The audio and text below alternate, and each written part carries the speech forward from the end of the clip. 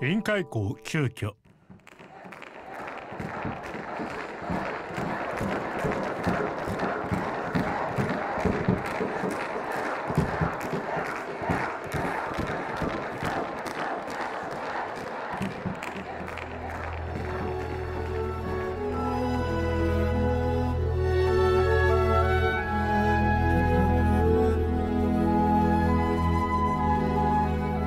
那殷海光他自己个人的学术兴趣当然是在哲学、理哲学这一块，但是呢，他很关心时事呢，这个是他自己现实的一个关怀的一个展现。那所以说他念哲学呢，那么他其实呢，除了学术兴趣以外呢，另外一个也跟现实关怀是密切相关的。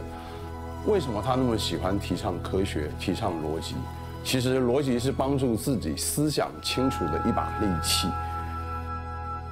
啊，他发现一些独裁政治的一些政治理论，啊，都是利用那个模糊的字眼，利用个抽象的概念来蒙混其词，所以他就用这方面去分析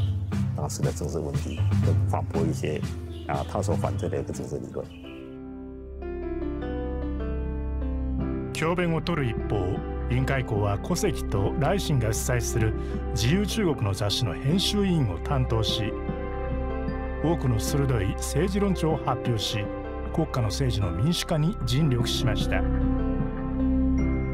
委員会校の蒋介石を支持する立場は変化し始めました国民党の目に彼は徐々に愛国者から反動的なものに変わりました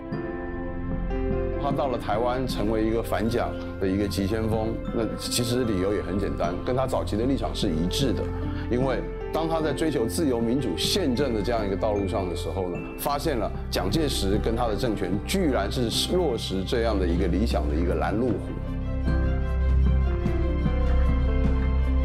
県政の乱れを目の当たりにした来信たちは唯一強固で力のある反対党を成立し国民党を牽制し平行を保ってこそ国家の民主化を実現することができると考えました。 1960年9月自由中国は委員会校が出筆した社論大高等流豆腐銃を出版し党の設立は民主の潮流でありこれを阻む余地はなしと言明しました。この言明に国民党の容認は極限に達しました。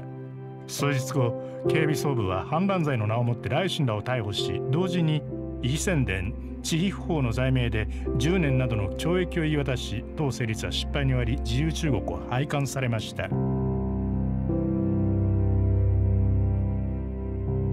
心身ともに耐えきれない苦境の中で委員会校は1969年胃がんのために逝去しました。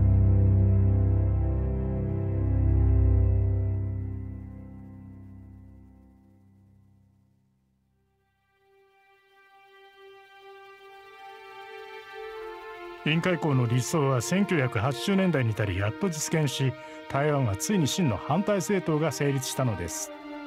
有很多后续的这个政治活动者，比方说后来组织民进党的、党外国民党，很多人都说他很早期都是受这个啊殷老师的文章影响。